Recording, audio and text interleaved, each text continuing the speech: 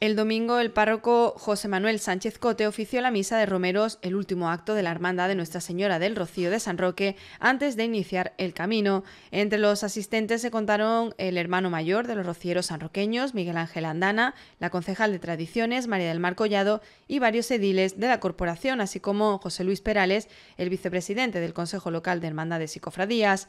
La música corrió a cargo del grupo Los Panas.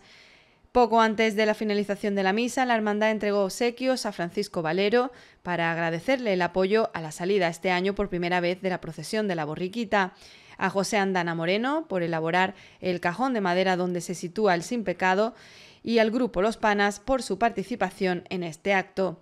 Además, la concejal de Tradiciones, María del Mar Collado, entregó a Miguel Ángel Andana la bandera de San Roque que portará la Hermandad Sanroqueña durante la presentación ante la Virgen del Rocío el próximo viernes.